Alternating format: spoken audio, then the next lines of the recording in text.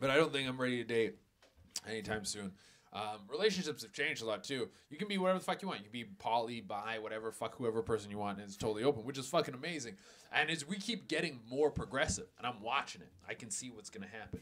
Eventually, we're gonna get so progressive that straight dudes start dating each other. That's what's around the corner, man. Fuck yeah, and it's gonna be beautiful. It's gonna be a beautiful thing. Imagine two bros on Valentine's Day exchanging gifts. One dude's like, Xbox One? Oh my god. The other dude's like, PlayStation 4? I love you so much. Oh my god. Xbox and PlayStation in the same house? Bro, it's not a house, it's a home now.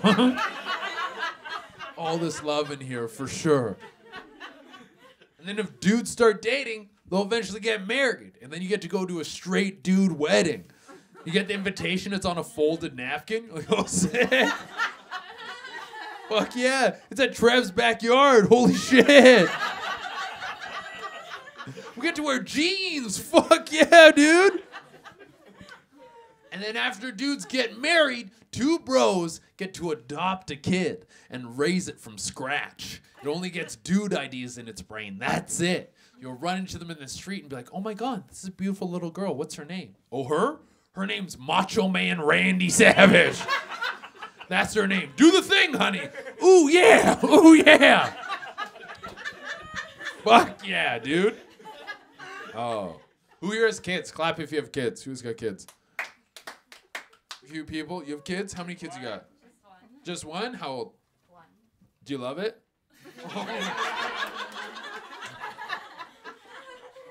a good question, man. You might be like, fucking hate this thing, dude. Where's the return? no, but you're happy. You're happy with your kid, boy or girl? Boy. Boy, is you. How do you how do you feel about the future for this kid? Um, scared for his future, but Scared. Jesus, that was real. That's more than we needed right now, man. Jeez, you could have been like, I'm happy, but you didn't. she lives in America. You live in America. Oh, you're fucked. Dude, your kid is gonna die. Fuck, man. Holy shit. No, I am I'm not gonna have kids at all. I'll be a bad dad. Um, I do find kids inspiring though. I think kids can do great shit, and you're like, holy shit, someone so young could do something. Inspires me, man. I the most inspiring thing I ever read was about this 14 year old boy who had a threesome with two teachers. that proves that anything can happen, really, for sure. Like, do you guys know who Roger Bannister is? Anyone? Roger Bannister was the first man to run a mile in under four minutes. Before that, people thought it was physically impossible. And before this kid, people thought you had to fuck teachers one at a time. You. You can fuck them in bundles if you want. You go in the staff room, you go, you, you, let's go. That's it, man. And also, shout out to those teachers, man. Shout out to them. Because they knew they were going to get caught, but they did it anyways. There's no way they thought they were going to have a threesome with a 14 year old boy, and he was going to be like, it's cool, I won't tell anyone. No, they knew, but they did it anyways because they knew it was right. Because they knew it was the right thing to do.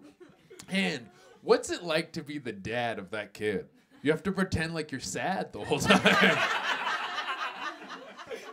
you gotta be like, oh no, my son is a legend. oh. oh. He gets home from school, it's all over the news. He's like, oh my god, dad, I'm so sorry. He's like, calm down, it's fine. We got you a cake. I'm just kidding. We got you two cakes. Fuck yeah.